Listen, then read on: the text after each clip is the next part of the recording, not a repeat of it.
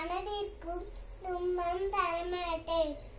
துன்பப்படுவோருக்கு என்னால் முடிந்த உதவியை செய்வேன். சங்கல்பம். அருள் பேராற்றல் கருணையினால் உடல் நலம் நீயாயுள் இன்னை செல்வம் உயர் புகழ் மெய்ஞானம் ஓங்கி வாழ்வோம். வாழ்க வையகன் வாழ்க வளமுடன்.